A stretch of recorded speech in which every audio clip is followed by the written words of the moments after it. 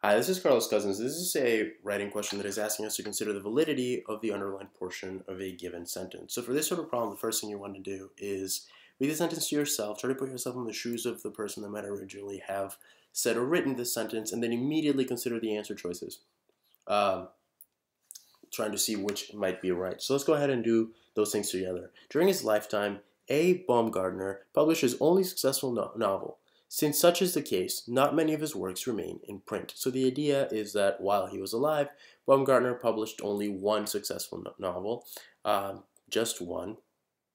And that means that not many of his works are available to people because he only published one. So anything else that he might have written wasn't published when he was alive.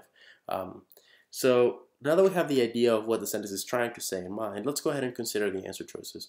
During his lifetime, A. Baumgartner published only one successful novel. Since such is the case, not many of his works remain in print. Well, the problem that we have here is this part of the sentence uh, can stand alone as its own sentence, and we have a comma here. Um, and when we have a clause in a sentence that can stand alone as its own sentence, it becomes a run-on unless you use and. Uh, that doesn't mean that you can cure the plague of the run-on in all of your papers by putting and wherever a comma is located. But for the purposes of this exam, um, this tends to help out a lot. So since we don't see and here, this doesn't look like a good answer choice. Um, and it can stand alone as its own sentence, of course. Let's go ahead and consider the next one. We already see and here and and here. So let's go ahead and see why uh, one might be right or over the other. So during his lifetime, A. Baumgartner published only one successful novel, and not so many of his works remain in print. Uh, and oh, and so not many of his works remain in print. Sorry. So this makes sense in that so gives us the same idea that since did.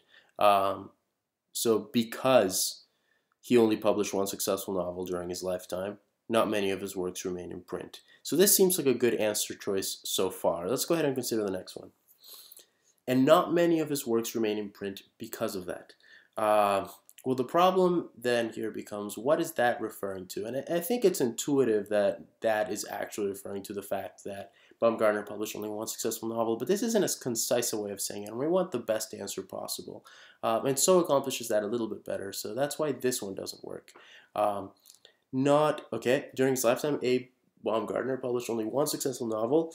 Not many of his works remain in print as a result. Again, this can stand alone as its own sentence, so we don't have and. Um, and this last one, during his lifetime, uh, A. Baumgartner published not only one successful novel, the number of his works remaining in print is not many for this reason. Again, uh, standing alone as its own sentence. Um, so that uh,